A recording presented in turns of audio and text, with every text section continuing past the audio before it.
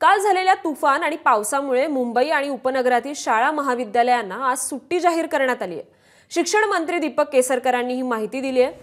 तसंच ठाणे पालघर पुणे आणि पिंपरी चिंचवडमधील शाळा महाविद्यालयांनाही आज सुट्टी जाहीर करण्यात आली आहे. गरज असेल तरच घराबाहेर पडा असं आवाहन आवाहनही आता प्रशासनानं केलंय. आजही राज्यभरात तुफान पाऊस कोसळण्याचा अंदाज वर्तवण्यात आलाय.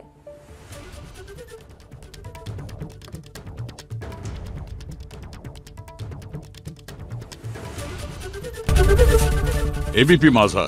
उघडा डोळे बघा नीट.